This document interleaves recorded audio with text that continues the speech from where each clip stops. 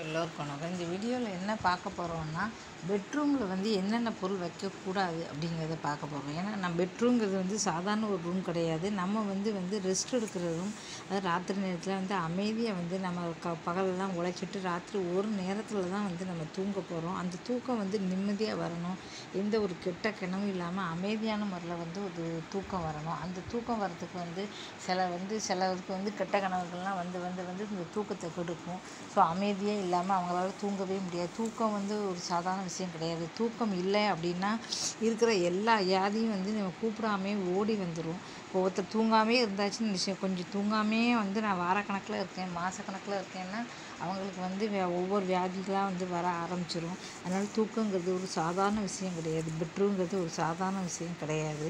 அதனாலே வந்து பார்த்திங்கன்னா நிறைய பேர் வந்து பெட்ரூமை வந்து அப்படி ஒரு ஒரு சுத்தமாக பெட்ரூமை நம்ம எப்படி வச்சுக்கணும்னா சுத்தமாக வச்சுப்பாங்க. எப்போவுமே நம்ம பெட்ரூமை கொஞ்சம் எல்லா ரூமையும் வைக்கிறத விட அதிகப்படியாக வந்து நம்ம கவனிச்சுக்கணும். ஏன்னா ராத்திரி நேரத்தில் தூங்குறதுக்கு மருந்தெல்லாம் அடித்து எந்த கொசு எதுவுமே வர முடியாது வராது. நல்ல நிம்மதியாக தூக்கம் வர முடியும் நம்ம பண்ணிக்கணும்.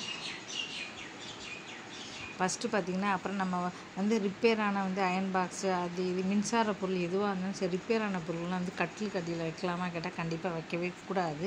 அடுத்தது பார்த்திங்கன்னா செருப்பு அந்த மாதிரியும் கீழே வைக்கக்கூடாது. அப்படி விட்டால் எதிர்மறை ஆற்றல் தான் நம்ம வந்து நமக்கு தூக்கத்தில் வந்து டிஸ்டர்ப் ஆகும். ஸோ அந்த பொருளெல்லாம் கட்டில்களில் வைக்கவே கூடாது. நிறைய பேர் வந்து கட்டிலுக்கடியில் வந்து நிறைய இடம் கிடக்கு அப்படின்னு சொல்லிட்டு வந்து என்ன பண்ணுவாங்க?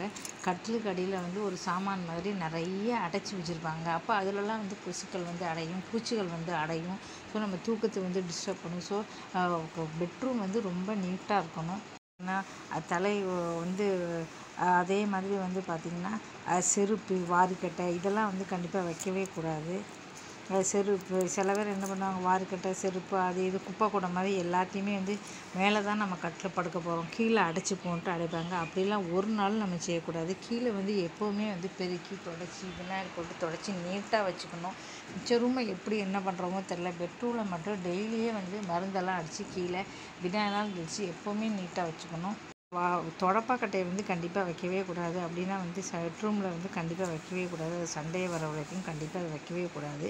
அதே சமயம் கண்ணாடியை வந்து தலை தலை நம்ம வச்சு எங்கே படுக்கிறோமோ அந்த இடத்துல வந்து கண்ணாடி வந்து கண்டிப்பாக இருக்கவே கூடாது. ஏன்னா இரும்பு பொருள் இரும்பு வந்து பொருள் வந்து மோசமான ஒரு விளைவு ஏற்படுத்தும். அதனால் அதையும் பண்ணக்கூடாது.